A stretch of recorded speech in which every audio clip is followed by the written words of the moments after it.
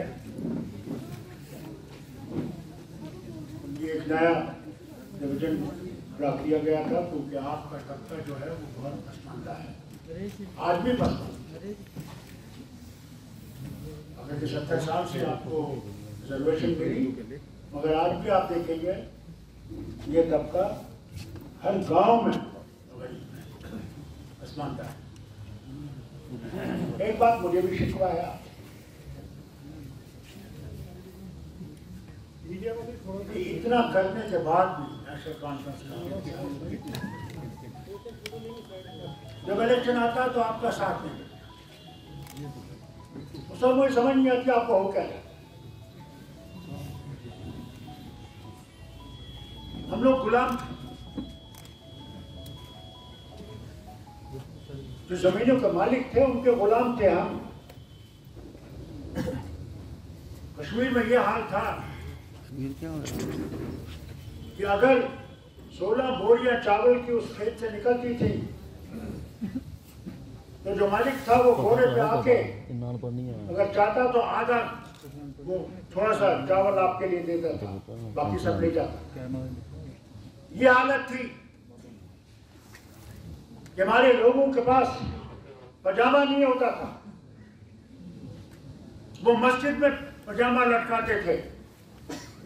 और जब कहीं जाना होगा शहर में तो वहाँ से वो पजामा लगा के जाते थे और जब वापस आते थे उसको धो के फिर वहाँ पे लगाते थे। ये हालत इतनी गरीबी थी इतनी लाश था और इतना ज़बरदस्त हम पे जुल्म था।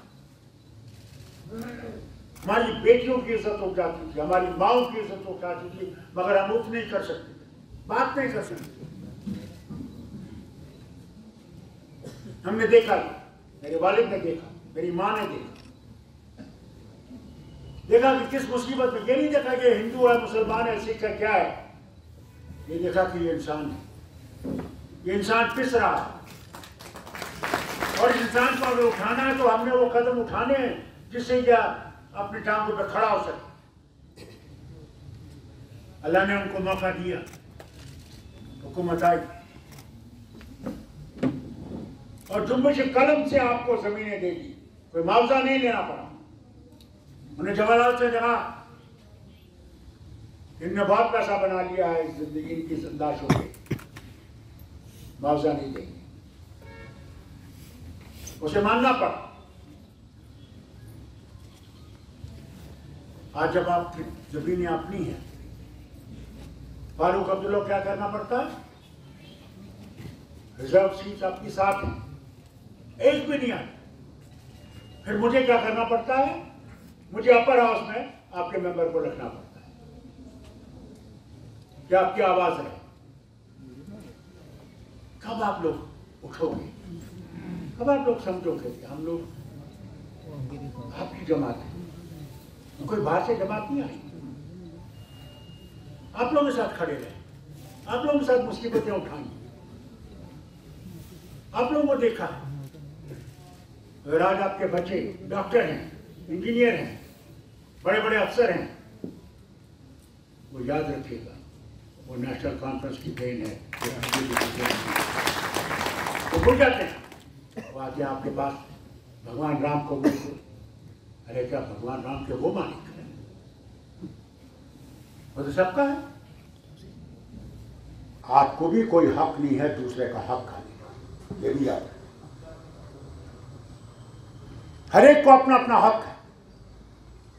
जो ही आप उसको ट्रांसग्रेस करोगे तो वहीं पे आपकी तकलीफें शुरू हो। जाएँगी उसे ट्रांसग्रेस मत करो। उसी में रहो और चलो कि दूसरा ये ना माने कि तुम उसकी बुनियादी हक से उसको मारे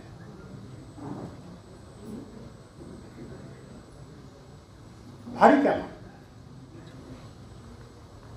कुछ कहते हैं आज मैंने अखबार पढ़ा कि पहाड़ियों को नहीं मिलना चाहिए कुछ। आप भी पढ़ा होगा मैं उनसे पूछना चाहता हूँ, क्या इनको हक नहीं? इनका भी वही हाल है। वो छोटी ज़मीन है, वो छोटा सा घर है, वही भैंस है या गाय है, वही रहने का तरीका हो। वो वो राजपूत हो, वो मुसलमान हो, वो हिंदू हो, वो शेड्यूल कास्ट हो, बराबर वैसे ही रहते हैं, कोई फ़र्क नहीं। जब तुम्हें मिलकर तुम उठ सकते हो तो ये क्यों नहीं उठ सकते? क्या इनका हक दबाओगे? जहन्नम जाए ऐसी हुकूमत को जो किसी के साथ इंसाफ नहीं कर सकती। जहन्नम जाए। हुकूमतों को इंसाफ करना है, हर तबके से इंसाफ करना है, हर लोगों से इंसाफ करना है, जो पसमानदा हैं। अगर तुमने हिंदुस्तान बनाना है तो हिंदुस्तान एक के लिए नहीं है, हिंदुस्तान सब के लिए है, और बराबर है। Constitution guarantees everybody's freedom guarantees it guarantees human rights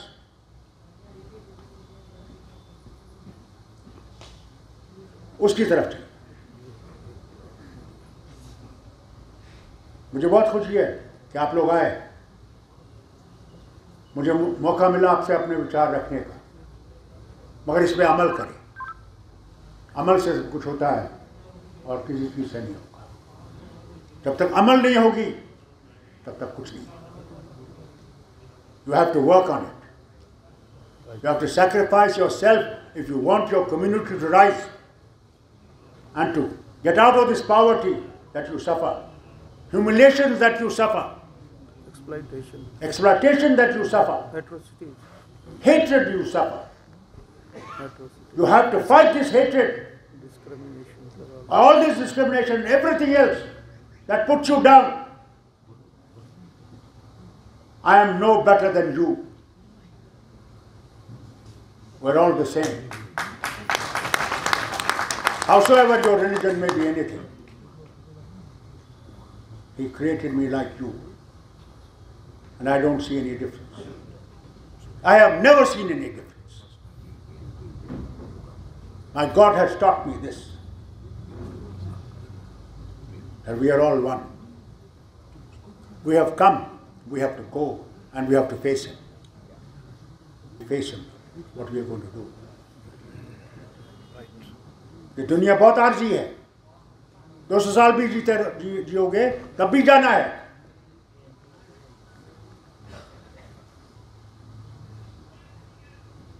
हमारे एक पैगंबर, साढ़े नौ सौ साल ज़िंदा रहे।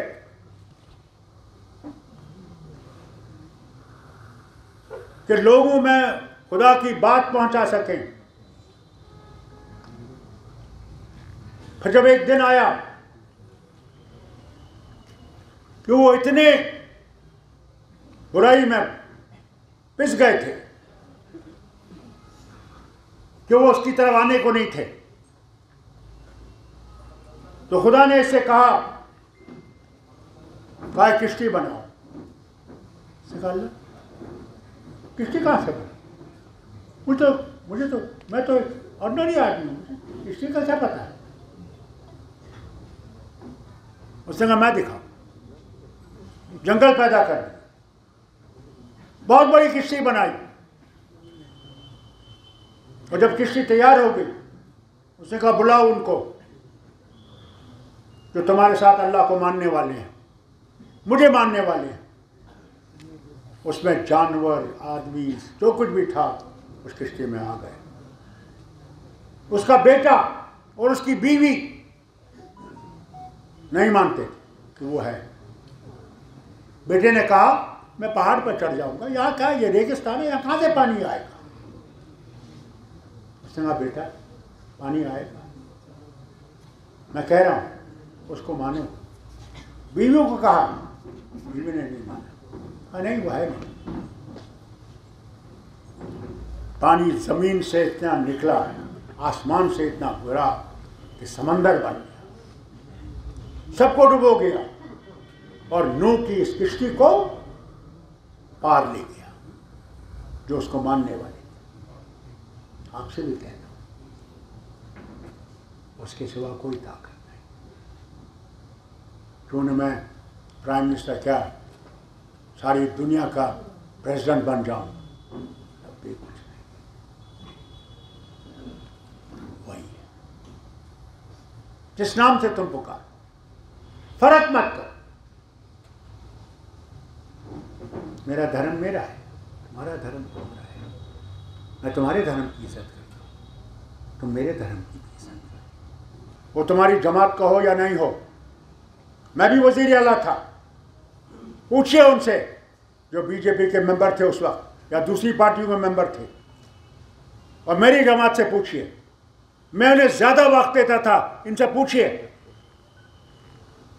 उनको ज़्यादा सुनता था, कि उनको न लगे, क्योंकि हम इनकी जमात के नहीं हैं तो मैंने सुनना नहीं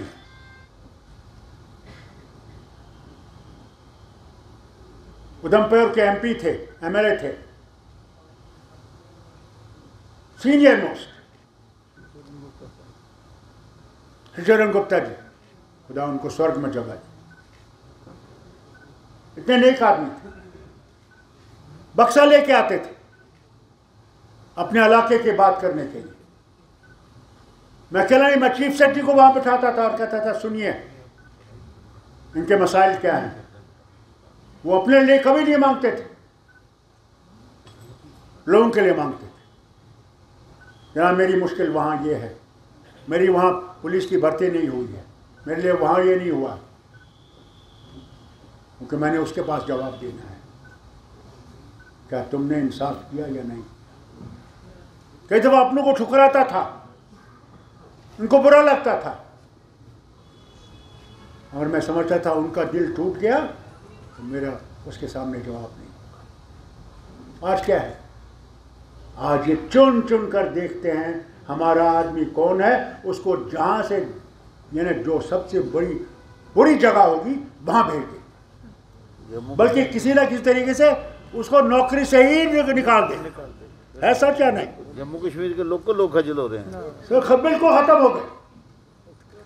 बाहर से ऊपर लोगों को बिठा रखा है जो न तो हमारे कल्चर को जानते हैं न हमारे ज़िंदगी को जानते न हमारी हिस्ट्री को जानते तारीख को जानते कुछ नहीं जानते।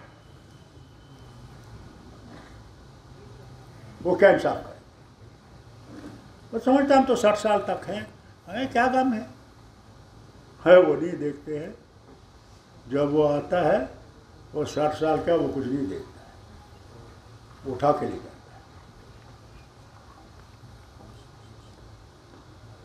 इंसाफ करो इंसाफ करो इंसाफ करो। वही सब कुछ और इतना फ़र्क कि आदमी वहाँ जा नहीं सकता बहन वहाँ जा नहीं सकती। कौन बनाने वाला क्या इन लोगों को जो बड़े कहते हैं अपने आप को, क्या उनको अलग भगवान है? उनका राम अलग है? और आपका राम अलग है?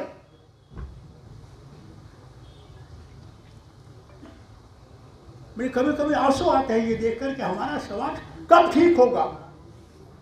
पचहत्तर साल हो गए हमको आज़ाद हुए। मगर इस बर्बादी से आज़ाद नहीं हुए। इस ऊँची और नीची जात से नहीं निकलते। पता नहीं हम अपनी ज़िंदगी में देख सकेंगे या नहीं। कितनी ज़िंदगी और आएँगी, और तब ये समाज बदलेगा। आप हैरान होंगे। मैंने विलायत में 12 साल था अस्पताल में जो टॉयलेट साफ़ करने वाला है सफ़ाई करने वाला है। वो मेरे साथ खाना खा रहा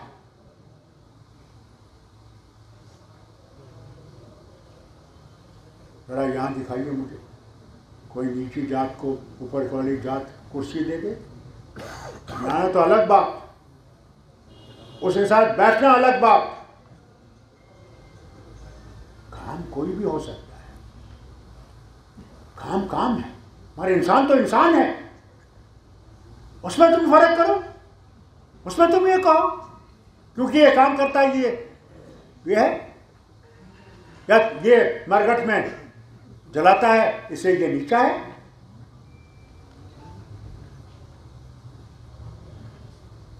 नहीं तो मेरा दोस्त मर गया। तो जो एशेस एशो क्या कहते हैं? अस्थियाँ जो थी वो लेके हम वो गए हरिद्वार हरिद्वार गए तो शॉल रखा था उन रस्सियों पे और एक वो पौंड रखा था सोने का। और कोई लीडर इसकी बात नहीं करता वो सिर्फ़ कुर्सियाँ जीतना चाहते बस।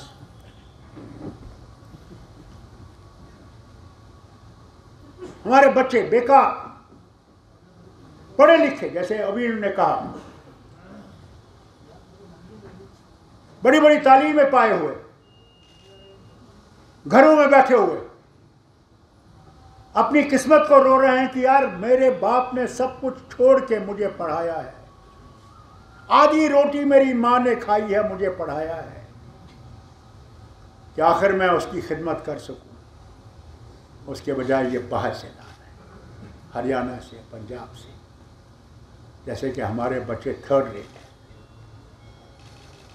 कब इनको होश है? हमारे डॉक्टर बेकार इंजीनियर बेकार जब अभी गडकरी जी आए और श्रीनगर में बहुत बड़ा सम्मेलन हुआ शेर कश्मीर कन्वेंशन कॉम्प्लेक्स में, मैं उनसे गुजारिश की मैंने हजूर, इतनी बड़ी बड़ी टनलें बन रही हैं। क्या हमारे इंजीनियर इस काबिल नहीं है कि वो काम कर सकें? क्या हमारे मजदूर नहीं है जो पत्थर उठा सकें? क्यों आप दूसरी जगहों से ला रहे क्या हमारे लोग बेकार नहीं हैं? भूखे नहीं हैं? नंगे नहीं हैं? ने मुझे खत लिखा कि नहीं हम इसकी तरफ़ तवज्जो देंगे। खुदा जाने तवज्जो कब हम लोग इनसे ज़्यादा नहीं हम अपना हक मांगते हम नहीं मांगते किसी और रियासत का हक। हम अपना हक मांगते हैं। तुम वो हक हमसे छीन रहे हो। खबरदार रहिए। आतिश विशान पहाड़ तैयार हो रहा है। खुदा ना खास्ता हम सबको लेके डूबाएगा तो फिर देखता नहीं है कौन नमाजी है। कौन मंदिर जाने वाला है? कौन उसकी पूजा करता है, नहीं करता है? वो सबको बराबर उठा के ले जाता है। जब बारिश पड़ती है तो क्या वो देखता है कि ये मेरा पूजने वाला है, इसको मैं बारिश दूँगा, और ये मेरा दस करोड़ का माल बेचते थे भाई, हम बीस करोड़ का माल बेचते थे भाई। मैं चुपचाप सुनता रहा। मैंने कहा, ये आफत तो तुम लोग ही लाए हो। क्योंकि हमारा खुदा कहता है उसमें, कुरान में, कि मैंने जो तुम्हें बरकतें दी हैं, वो तुम्हारे लिए नहीं है, वो उनके लिए भी है, जो तुम्हारे से कमज़ोर हैं। उनको दो।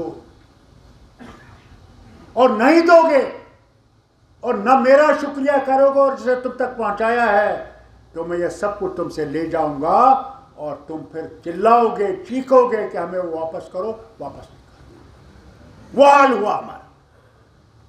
क्योंकि हम उसको भूल गए और आज भी हम उसको भूल रहे हैं। उसका दामन थामो। उससे मांगो परवदिगार हमारे गुनाहों को अफू कर और हमें इस मुश्किल से निकाल। ताकत वो है। मैं भी अपनी लीडर सतवंत कौर से मिलने आया। एक वक्त था जबकि समझते थे वो बचेगी नहीं। और डॉक्टरों ने कहा, ये छह महीने नहीं बोलेगी। डॉक्टर खुदा नहीं है। खुदा हुआ है। तीसरे दिन, ये देखिए, उसका कमाल। तीसरे दिन वो अपने पति को नाम दी और फिर ऐसे बोलने लगती है जैसे कि वो बिल्कुल ठीक है। ये किसका करिश्मा है? उसका। और हम उसको भूल गए। और इनको समझे, ये जो आज बैठे हुए, ये मालिक है। ये वक्ती मालिक है, उनको भी उड़ना है, जिस तरह बाकी उड़ गए उसके लिए भी दुआ करिएगा कि भगवान अल्लाह उसको जल्दी से सेहत बख्शे। ठीक हो जाए फिर हमारे साथ बैठ सके यह है उसकी कुदरत।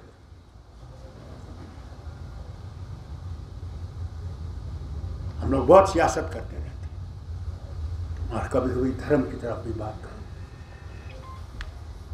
धर्म को घंटी बजा के चलना पड़ता है कि कोई बड़ा ब्राह्मण जो है, वो तुम्हारी शक्ल ना देखे। मैं मुसलमान होके तालाब में नाक घुसल कर सकता हूँ, मगर तुम हिंदू होके उस तालाब में घुसल नहीं कर सकते। यह है आज भी सत्तर साल के बाद भारत की हालत। राजस्थान में जहाँ मैं पढ़ता था, वहाँ नाथा द्वारा एक मंदिर है, बहुत प्राचीन मंदिर है। मैं जब वहाँ पढ़ता था। मैं मुसलमान होकर मंदिर जा सका था। मगर शेड्यूल कास्ट वाला उसकी पौड़ियों से नीचे भगवान को बाहर से सलाम कर सकता था। भगवान के दर्शन नहीं कर सकता। राष्ट्रपति नहीं जा सकता ये हाल है? कब तक तुम लोग ये ये बर्दाश्त करो कब तक? कब तक? वो तब होगा जब तुम्हारा समाज उठेगा। और तुम इसके खिलाफ आवाज़ उठा सकोगे, तब तुम्हारा समाज उठेगा। नहीं तो तुम दबे रहोगे और हर वक्त दबे, दबाए जाओगे। इसलिए अपने आप को उस तक उस तक पहुंचाओ, उस मंजिल तक पहुंचाओ। क्योंकि उस ऊपर वाले ने हर एक को बराबर का बनाया है।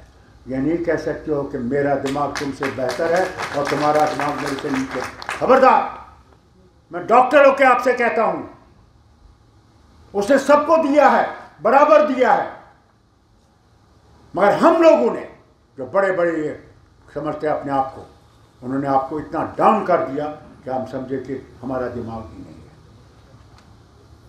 आज बड़े से बड़े डॉक्टर शेड्यूल कास्ट बड़े से बड़े जहाज़ उड़ाने वाले जो 16-16 घंटे जहाज़ उड़ता है दिल्ली से अमेरिका, उसके चलाने वाला आपका है, आपके दलित से आता है। डॉक्टर, दोस्त की माँ बूढ़ी माँ, मुझे कहती है किशोर क्या है? राम राम। बेटा, राम विश्व का राम है, वो सिर्फ़ हिंदुओं का राम नहीं, मुझे कहा। कहा, बेटा सबको बोलो। तुम अपनी पुस्तकें पढ़ो और जब आते हैं घंटियाँ बजाते हैं आपके सामने आप लोग ये समझते हैं कि बस ये आ गए। और राम लेके आ गए। राम इनका नहीं है। ये मालिक बन गए हैं राम के। कमाल फारूक अब्दुल्ला कल कहे मैं ही अल्लाह का मालिक हूँ, मैं ही जानने वाला हूँ, अल्लाह को फिटकार है मुझे। फिटकार सब मौला सब रब्बुल आलमीन, आलमों का रब। ये आपके पास आते हैं गाँव में किसी को बाँध वो जैसे वो आता साहब जीवन पलट तेरा पठान के तहत मोड़ा याद है आप लोगों को? कौन? है। और खासकर हमारी माएँ बहनें। वो समझते जैसे भगवान ही आ गया। देखिए ये ये नहीं देखते कि भगवान के रूप में वो कौन सा शैतान है। अगर आपने सचमुच से कदम उठाना तो इस झंडे को जमात को मज़बूत करना है उसके बगैर बनेगा तो मैं आपसे एक बात कहना चाहता हूँ आगे से मैं आपको कोई एमएलसी नहीं मैं रोशन साहब रखे। साफ़ हूँ। बिल्कुल आपने अपने पाँव पे खड़ा होना आप पे जाना। इंसान को है जो आपके लिए काम ये को सिर्फ़ अपने लिए काम करेगा नहीं करोगे तो नुकसान में तुम होगे फारूक अब्दुल्ला ने